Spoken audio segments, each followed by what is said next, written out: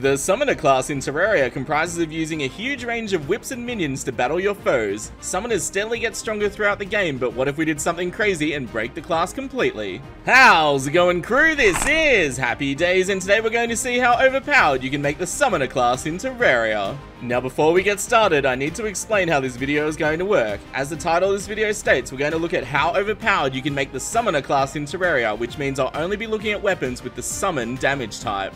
We'll be examining what the best, most overpowered Summoner weapons, armor, accessories, and items are available at 5 major stages of the game. These stages are a brand new world before you start your first boss fight, just before the Wall of Flesh battle, the start of hard mode before your first hard mode boss, just before the Golem battle, and finally, post Moonlord victory with every item in the game available. In each section, I'll be farming, looting, and crafting the absolute best summoner equipment available at each stage of the game. Also, by popular request, I'll also represent the best summoner weapons in each category, including combat minions, sentry summons, and whips. Any buffs are allowed, such as potions, furniture, and set bonuses, as long as they're available in the stage of the game we're exploring. As you all know, there's lots of summoner weapon, armor, and accessory combinations in Terraria, so if during this video I suggest something you do differently, that's totally okay, and please share your ideas in the comments below. Finally, I won't be using any major glitches to obtain items earlier than you normally would be able to get them in the spirit of this challenge. We are simply looking to overpower our character using all the items available to us at each stage of the game. With that said, let's get this crazy challenge started. We begin our adventure as most people do in Terraria by destroying the nearby forest to collect tons of wood. Similar to mages, we can't craft a summoner starter weapon from wood, so I'll rely on a wooden broadsword for now. I'll need the merchant NPC to move in as soon as possible, so I'll build a few quick NPC houses. There's a ton of powerful upgrades available early for summoners, but I'll need the merchant's bug net to unlock them. One of the first things worth doing is checking the surface of your world for living trees, as these can contain the Finch Staff summon weapon. If we're lucky, we'll also find a garden gnome here too, which will slightly boost our luck when farming in this run. Next we'll need to earn some money for the merchant to spawn, so I craft some torches and head underground to start looting. At this stage, I'm just looking to find some basic ores, loot, and accessories from all the treasure chests. I'll earn plenty of money from smashing all the pots along the way, so we'll will unlock the merchant in no time. If you're wondering, I'm playing on a medium world in normal mode. Using bigger world sizes is beneficial for summoners as they generally require more room for boss fights and events. Back at base, I purchase a bug net from the merchant. I also craft a fishing rod and a bucket to hold some water as we're about to get our first major upgrades. I make some random armor, but save my gold bars as we'll need those for an upgrade very soon. Heading to the underground jungle, I explore until I find a fairly open area and create a safety box and then use the water duplication trick to make a 300 tile fishing spot underneath for maximum fishing power. We're achieving several goals by doing this. Firstly, our finch summon will slowly collect stingers and vines from the hornets and man-eaters while I'm fishing to craft our first whip called the Snapthorn, and we can catch variegated lardfish to craft summoning potions. We swing past base again to quickly craft our Snapthorn whip, a few mana stars, and some summoning potions before heading back underground for another loot run to prepare for our first boss fight. Our main goals now are to max out our health as well as find enough gems to craft our first gem hook. We'll also grab any loot we can get our hands on as soon we'll be reforging our equipment and that can get really expensive in the early game. Next we head to the underground snow biome in search of the Snow Flinx enemy type. These enemies drop a material called Flinx Fur, which can be used to craft the only pre-boss summoner armor and a decent minion summon weapon. I only need 14 Flinx Fur total for my crafting needs, but farming can be slow, so I blast open a small farming area to help increase the mob spawn rate. Back at base, I craft the Flinx Fur coat and the Flinx staff. Our new armor gives us 5% extra minion damage as well as an extra minion slot. When combined with our summoning potions, we can now summon 3 minions, which is huge at this stage of the game. Now that we're powered up, I fight the goblins to unlock the Goblin Tinkerer NPC, as reforging for damage modifiers are critical to summoner loadouts to maximize damage. The combination of our Snapthorn and three Flinx summons absolutely tear through the goblins, and soon enough, they're defeated. After sorting my inventory, I start to build a elevator to the underworld. This achieves several goals. Firstly, it provides me an easy way to access the underworld later for our Wall of Flesh battle. Next, it gives me an easy way to search for the Goblin Tinkerer NPC. I notice him while we're exploring and quickly purchase some rocket boots and a Tinkerer's workstation. I do try to get a better modifier for my whip, but I am totally out of cash, so that's gonna have to wait for a little bit later. I notice a blood moon has begun, so I travel to a farming arena I set up at the ocean to try for several special items. This arena allows my minions to farm up regular blood moon mobs while I safely fish up zombie merman and wandering eyefish. Zombie merman and wandering eyefish can drop the vampire frog staff summon which is a nice damage boost to our flinx staff. I get incredibly lucky and get two shark tooth necklaces and the vampire frog staff within the first few minutes of farming. I spend the rest of the night trying to get the chumcaster too, but it looks like my luck has finally run out. We've almost done everything a summoner can do before their first boss fight, but there's still a few last power-ups we need. Firstly, I smash my way through the jungle biome to find an Anklet of the Wind and the Feral Claws. The Feral Claws increase my whip speed by 12% and even give me auto swing, which will massively boost my damage. As we're about to start fighting bosses, it's time to organize my character's buff potion supply. I make sure to get plenty of Ebonkoi from the Corruption as they craft the powerful Wrath potions which give me a decent 10% boost to all of my damage. I'll put an image on screen with all the relevant combat buff potions available at this stage of the game, as well as the summoner exclusive buffs that will get us one step closer to being completely overpowered. Next I blast my way through the ice biome to find the ice skates as well as some extra loot as I'm about to spend a ton of cash on reforging and every little bit of loot I can find will help a lot. Down in the underworld I farm a bunch of fire imps searching for an obsidian rose. This is one of the components to make lava waders which I need for the ultimate boot upgrade. Did you know that whips, despite despite being a summoner weapon, actually benefit from melee speed bonuses. That means wearing armor pieces with bonus attack speed actually increase the DPS of our whips. I set up a simple farm in the Corruption and farm for the Ancient Shadow Helmet and Greaves, which drop from Eaters of Souls for a decent 14% bonus to my whip's attack speed.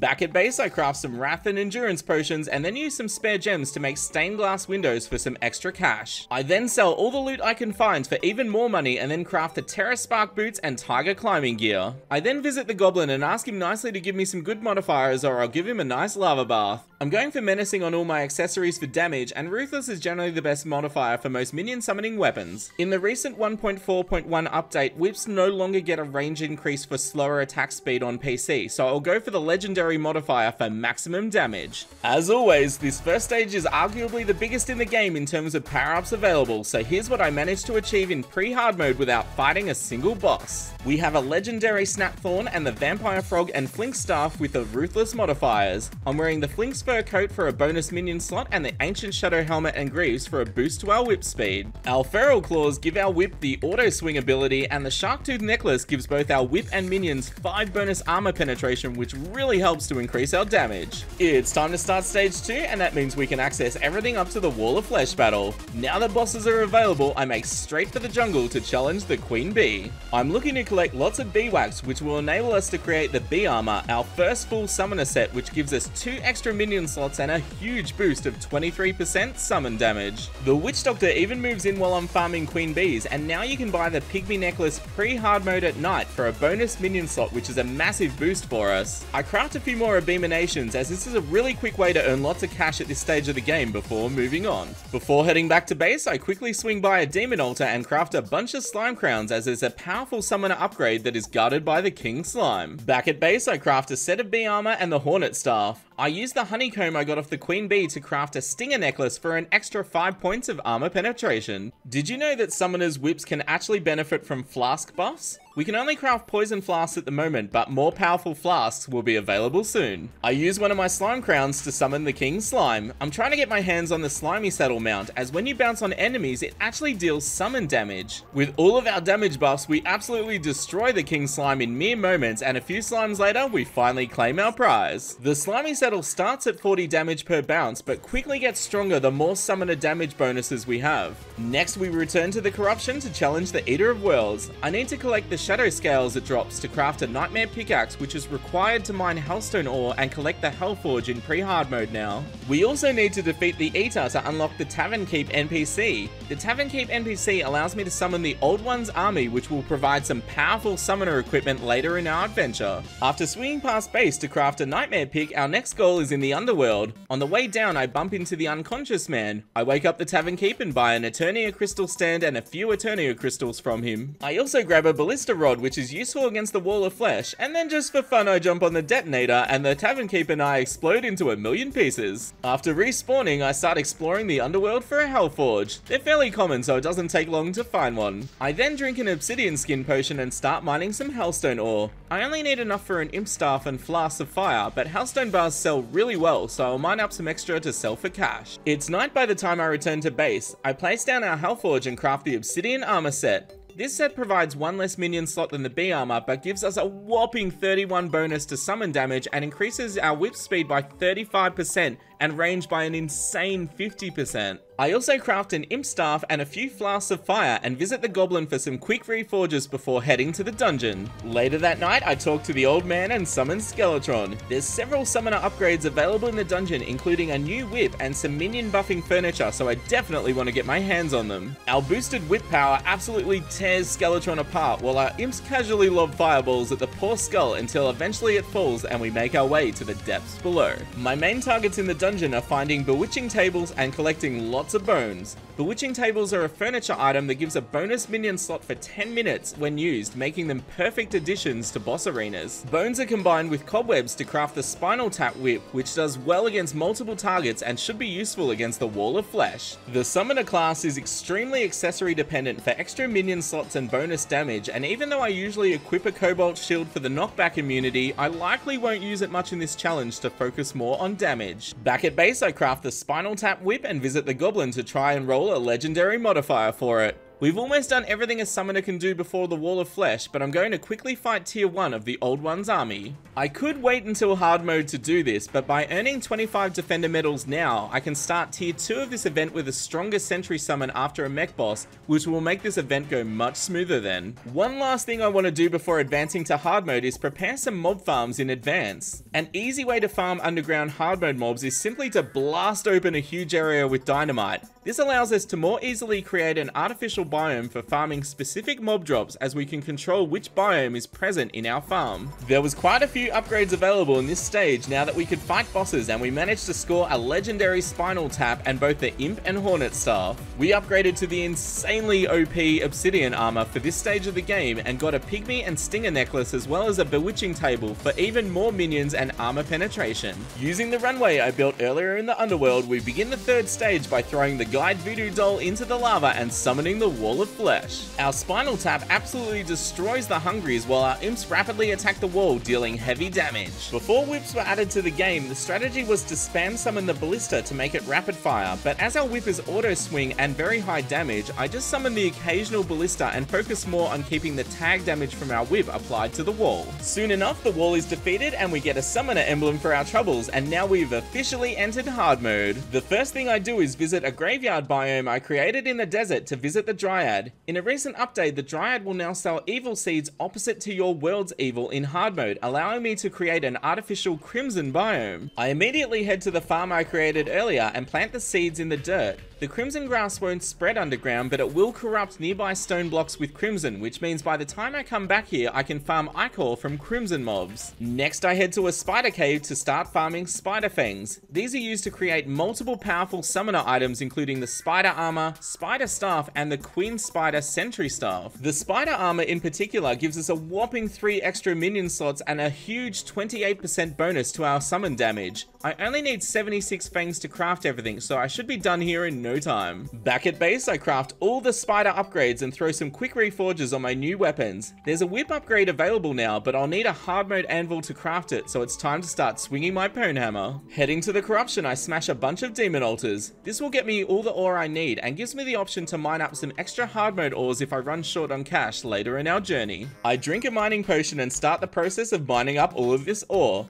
Thankfully, most summoner equipment is either purchased from NPCs or dropped from mobs and bosses, so I only need enough ore to make a hard mode anvil, and I can skip the rarer tier 3 ore completely. After sleeping in my tree bed for three days to speed up time, it finally starts to rain, so I get up and hunt for ice golems. Ice golems are a rare enemy that only appear during blizzards, and they drop a crafting material called the frost core. I start building a basic farm, and soon I find that a frozen key has dropped, and then a golem attacks me. The frost core is a guaranteed drop, so I quickly take out the golem and escape with my prizes. I head back to my underground farm and find that the crimson grass has corrupted the nearby blocks and made a crimson biome. I take my time here farming up lots of Ichor as well as both normal and Crimson Mimics for a bunch of loot to sell. I even get the Flesh Knuckles from one of the Crimson Mimics which I need for an upgrade to my Feral Claws. Before heading back to base, I stop by the Underground Hallow to collect a few Souls of Light. To my absolute amazement, I see a Slime Staff has dropped, which might be useful if I want to make a money farm later on. Next, I head back to the Underworld to farm a few more Walls of Flesh to get the Firecracker. It takes a few tries, but eventually the Fiery Whip is mine. Back at base, I craft the Cool Whip and then then upgrade my Feral Claws all the way to the Berserker's Gloves.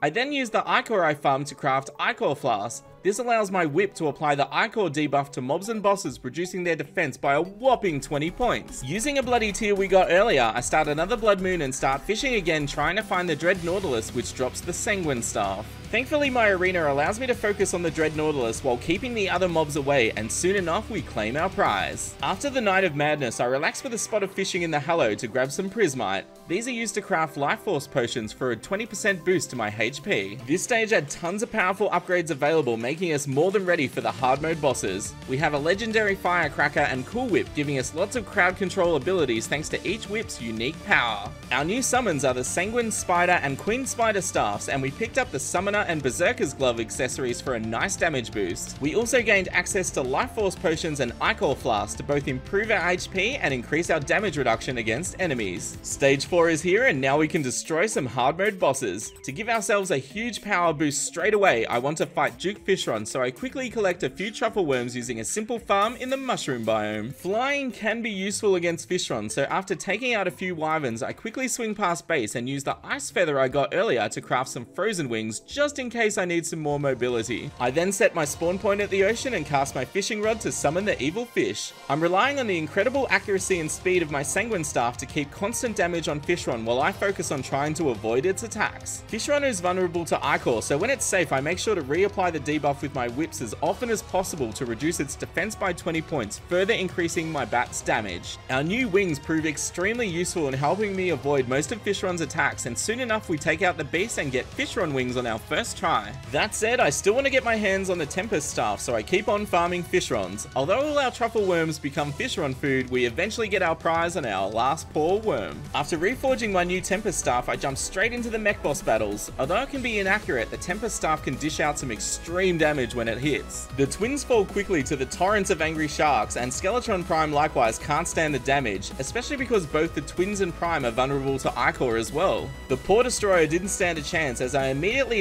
attack its bunched up body the moment it starts to spawn in, causing it to take extreme damage. With all the mech bosses defeated, I craft a new whip out of hallowed bars called the Durandal, a powerful whip that buffs attack speed. Lots of powerful summoner upgrades require us to first defeat Plantera, so I mine out a small arena near a bulb and then smash it. I simply fly circles around Plantera while my Sharknadoes easily hit the slow moving target, dealing massive damage. My whip quickly clears out Plantera's tentacles in its second form, and soon enough Plantera falls and we get a Pygmy Star for our trouble. With Plantera defeated, I visit the Witch Doctor and buy the Tiki armor set, giving me an extra minion slot and the Hercules Beetle accessory, which boosts summon damage by 15%. I head back to base and visit the Tavern Keep to upgrade my Ballista Rod to the Ballista Cane using the medals I farmed earlier. After quickly reforging our new weapon, I challenge Tier 2 of the Old One's army as we can now get our hands on the Sentry Summoner armor sets as well as some Sentry boosting accessories from the Ogre mini boss. I need to farm 75 medals to buy the Sentry Summoner armor, which requires beating this event three times. Although it takes a while, thankfully our minions are so strong the crystal barely gets scratched, and soon enough we have the medals we need. Our next big goals are to challenge the Pumpkin Moon and fight the Empress of Light. I first head to the dungeon to collect some ectoplasm needed to craft the Pumpkin Moon Medallion. With incredible luck, we get the Morning Star almost immediately, which is a powerful whip upgrade, and then use our frozen key to unlock the ice chest and get the Staff of Frost Hydra. The Staff of Frost Hydra is a powerful sentry summon that will be useful versus the Pumpkin Moon. After creating a simple farm, I roam around grinding mobs for tons of loot to sell, as well as the Tabi and Black Belt, just in case I need Master Ninja Gear to help with the Empress of Light day battle. Heartreach potions can be massively useful during events like the Pumpkin Moon, so I swing by my Crimson farm and set up a quick fishing spot. I also take my time to fish up some extra loot to sell before heading back to base. I craft a bunch of Heartreach potions and then grab my Cobalt Shield from my accessories box just as a precaution against getting stun locked by Pumpkins. We then craft a few Pumpkin Moon medallions and get this crazy event underway. I need several items from this event including 750 spooky wood to craft the spooky armor, two necromantic scrolls as one of them I can use to upgrade to a papyrus scarab, a new whip called the Dark Harvest, and the Raven Staff. We managed to get a Raven Staff early on and I immediately desummoned my bats and sharknadoes for ravens as they deal huge damage and can phase through enemies landing more hits. While dodging pumpkins, I sweep over the ground collecting loot and notice two necromantic scrolls must have dropped in the chaos Chaos, as well as a bunch more spooky wood. The next morning, I have almost everything I need except for the Dark Harvest. I head back to base and craft the spooky armor, and then go to my accessories box and craft a Papyrus Scarab, which gives a bonus minion slot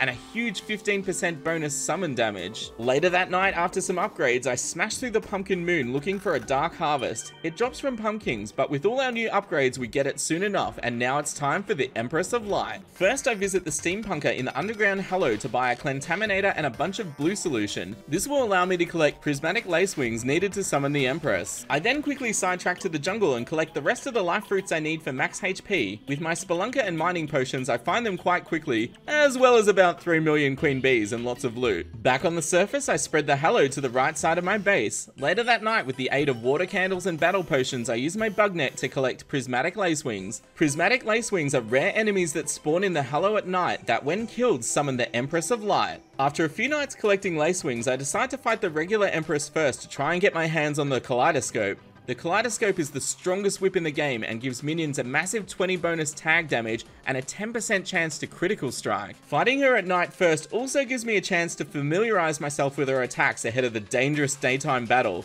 The Empress is fast, but our minions deal extreme damage and soon enough she falls and drops to the Kaleidoscope. The next day I grab a bunch of stone and buy a Blendermatic from the Steampunker before reforging my Kaleidoscope to Legendary. I also craft the Master Ninja Gear which may be useful in our upcoming battle with its dash and dodge ability. I then head to the ocean and start crafting a bunch of asphalt. Making an asphalt bridge will help give me some extra running speed against the daytime Empress of Light and help avoid her instant kill attacks. I zoom out for the upcoming battle and the next morning I use all my buffs, swap my boots for Master Ninja gear and use my Sanguine Staff to summon as many bats as possible and start the battle.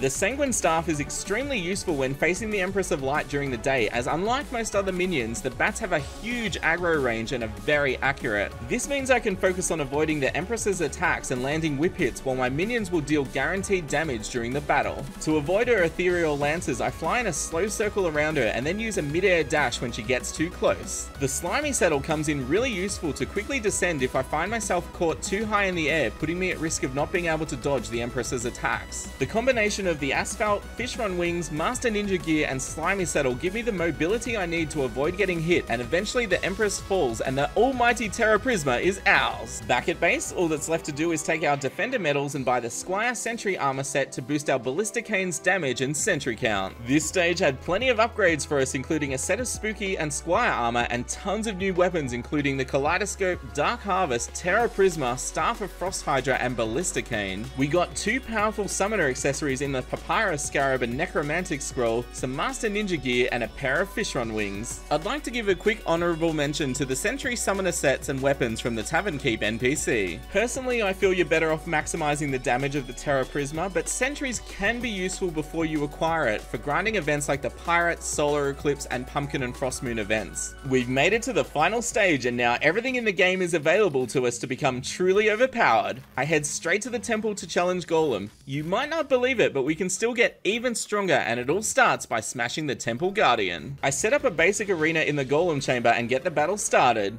As I expected, our Kaleidoscope and Terra Prisma make short work of poor Golem, but as I have a few extra power cells, I pick on him a little bit more for some extra loot. I head to the ocean with a battle potion and water candles to find a Martian probe and start the Martian Madness event. It doesn't take long to find a probe and I quickly teleport back to base to start farming. I really want to maximize our damage and total minions in this last stage and part of doing that is freeing up my accessory slots from using mobility items. The Cosmic Car Key, which is dropped by the Martian Saucer with a roughly 16 percent chance gives unlimited flight and decent move speed, which will allow me to swap out my wings and boots against the Moonlord for maximum damage. It does take me two Martian invasions, but finally the Cosmic Key drops and I'm one step closer to being absolutely overpowered. With Golem defeated, the final tier of the Old One's army is unlocked. I need a total of 325 medals to buy a set of endgame sentry armor and the tier 3 sentry summon, so I'll need to beat the final boss Betsy four times. Thankfully our Terra Prisma protects the crystal quite well well, and soon enough we have all the medals we need. I crack my whip at the cultists as we prepare to take on the lunatic cultists. I just go crazy whipping the robed menace, and it only gets a handful of attacks off before we take it down. I quickly burst through three of the pillars, including the Stardust, Solar, and Nebula. I need Stardust fragments to craft the Stardust armor after the Moonlord, and all the fragments can be used to craft super healing potions, which restore a whopping 200 HP. Back at base, I buy the Ballista Staff and Valhalla Knight armor, which gives me 60% bonus minion damage, 7 armor reduction on ballistas, and an extra 3 sentry summon slots, which makes this a useful event fighting set. I also grab my summoner emblem out of my accessories box as we'll want to max out our damage against the Moonlord. After setting my spawn point at my asphalt runway, I make my way to the last pillar and take out the mobs defending it. Soon enough the shield falls on the pillar and I quickly take it down. I hastily grab the fragments and teleport back to our Moonlord arena. I swap out my mobility accessories for the pygmy necklace and summoner emblem, refresh my buffs and await impending doom. My Terra Prisma goes absolutely crazy attacking the Moonlord's eyes. Usually I try to slowly damage them so I kill three around the same time, but there's no slowing down our damage here. Once the forward eye opens, I let loose with our kaleidoscope, and before long the core bursts open and we've almost won. With no other targets left, our Terra Prisma shred the core to pieces, and soon enough the Moonlord starts exploding.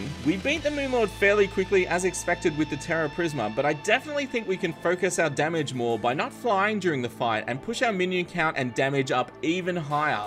The next day, I place some bubble blocks at my old arena and place a single wood block to grapple onto during the fight. I then place a bar statue for increased defense and fill the bubble blocks with honey. So what's the ultimate build for summoners in Terraria? I spent some time grinding the pillars in Moonlord to find out. After a few more trips through the pillars, I now have a full set of Stardust armor to go with our Valhalla Knight armor. We have the Rainbow Crystal and Lunar Portal Sentry staffs to go with our Ballista staff. Our main summon, of course, is still the Terra Prisma due to its insane damage potential. Our final accessories are the Necromantic Scroll, Papyrus Scarab, Pygmy Necklace, Hercules Beetle, and Berserker's Glove, all with the Menacing modifier. Instead of trying to dodge the Moonlord's attacks, we simply grapple in the honey and challenge him to a DPS race. By not moving at all, I can give maximum focus to keeping our kaleidoscope hitting one eye at all times for big damage, enabling us to destroy all of the Moonlord's eyes in a single cycle. With the core open, I grapple across slightly and the combination of the Ichor debuff, our kaleidoscope, and Terra Prisma attacking simultaneously melted in mere seconds, truly giving the Moonlord the OP treatment. I had so much fun maxing out our summoner at each stage of the game. A lot of you have been asking me to do OP videos on the Rogue class from Calamity and the Bard class from Thorium, so let me know if you'd like that by smashing a like on this video and leaving a comment with which class you'd like next. Also, if you have any other ideas for equipment builds at various stages in this video, please let me know in the comments below. I had a blast making this video, and if you enjoyed it too, please smash the like button and consider subscribing for more fun videos like this. And is the most important part as always, you will stay happy and I'll see you soon. This is Happy Days signing out. See ya!